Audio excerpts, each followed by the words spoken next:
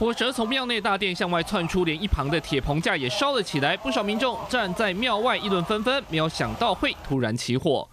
确定一下，没有人在上面了。失火地点是有着泡面土地公之称的南投中寮石龙宫。一号半夜两点多又来拜拜，民众发现大殿旁的蜡烛堆和油灯窜出火苗。开始我们上去，然后就是旁边放那个呃放蜡烛的地方，然后就有火苗，对啊，然后起火，大家要找灭火器找不到。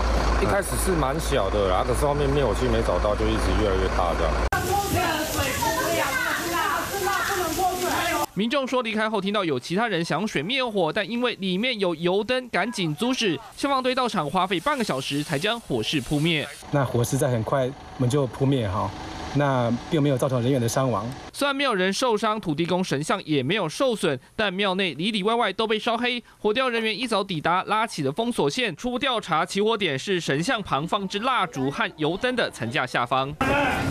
石龙宫被称为泡面土地公，是因为有人吃了参拜过的泡面后中奖，又买泡面来还愿。久而久之，吃泡面拜泡面成了特色。平常不论是白天晚上，都有很多信徒。这次为什么会在半夜失火？消防队还要厘清。庙方也说，因为火场还在整理中，呼吁信徒暂时不要前往。华新闻吴良、杨总颖、周大祥南投报道。Hello，我是林仙怡。想要抢先掌握最及时的新闻资讯吗？赶快订阅、按赞、开启小铃铛，锁定华视新闻 YouTube 频道。